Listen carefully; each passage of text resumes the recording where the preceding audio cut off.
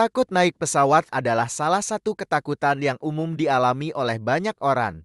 Ketakutan ini dapat disebabkan oleh berbagai faktor, seperti pengalaman buruk sebelumnya, takut ketinggian, atau kurangnya pemahaman tentang cara kerja pesawat. Berikut adalah beberapa cara efektif untuk mengatasi ketakutan naik pesawat. Pertama, edukasi diri tentang penerbangan. Pemahaman yang lebih baik tentang cara kerja pesawat dan prosedur keselamatan dapat membantu meredakan ketakutan.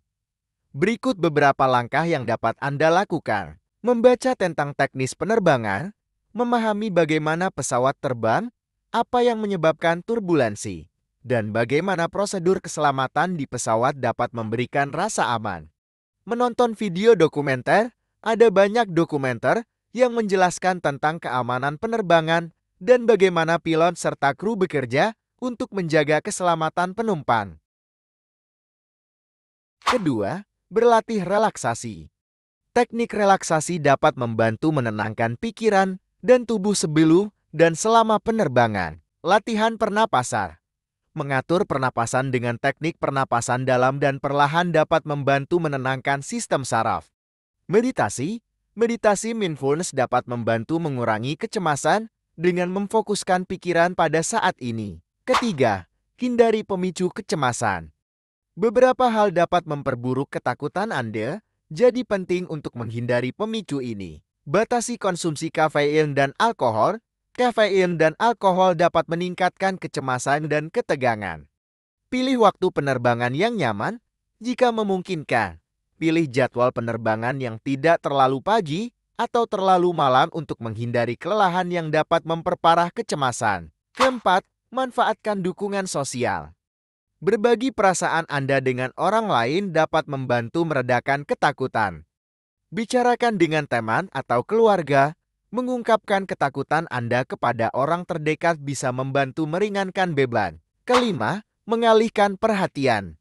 Mengalihkan pikiran dari ketakutan saat berada di pesawat dapat membantu membawa buku atau musik favorit, membaca buku, atau mendengarkan musik dapat mengalihkan perhatian dari rasa takut. Keenam, cobalah terapi paparan. Terapi paparan melibatkan penghadapan diri secara bertahap dengan sumber ketakutan hingga rasa takut tersebut berkurang. Simulasi penerbangan menggunakan simulator penerbangan untuk merasakan pengalaman terbang dalam lingkungan yang terkendali dapat membantu mengurangi ketakutan. Penerbangan pendek, mulailah dengan penerbangan jarak pendam sebelum mencoba penerbangan yang lebih panjang. Ketujuh, kenali dan hadapi ketakutan. Mengakui bahwa Anda memiliki ketakutan dan bekerja untuk mengatasinya adalah langkah penting. Menulis jurnal, menulis tentang perasaan dan ketakutan Anda dapat membantu memahami dan mengelolanya dengan lebih baik. Gunakan teknik self-talk positif. Menggunakan self-talk positif dapat membantu mengubah pola pikir negatif. Ganti pikiran negatif dengan yang positif. Alihkan pikiran negatif seperti saya akan panik menjadi saya bisa tetap tenang dan menikmati penerbangan ini. Ingatkan diri sendiri akan fakta.